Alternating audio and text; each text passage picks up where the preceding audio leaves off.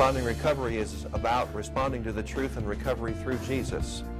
We're going to go back to the Bible as our authority and dig deeper into the Word because we are very interested in, in not from a man or not from a program per se or an individual. We're very interested in what God would have to say about each and every one of the 12 steps.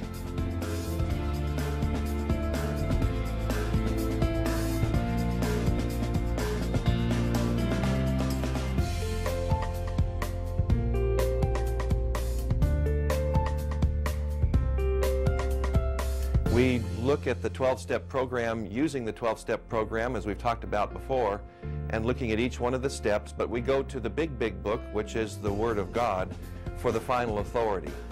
We respect the big book of Alcoholics Anonymous, and I've had my place in that. I'm 19 years clean and sober, but I have found that the big, big book is my resource for truth.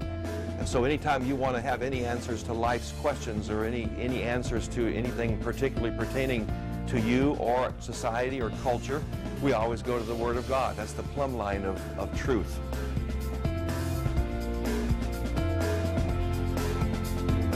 We are about to go on a journey together that will be life-changing. Not only be life-changing, but it's going to be heart-changing. And that's the issue that God is after.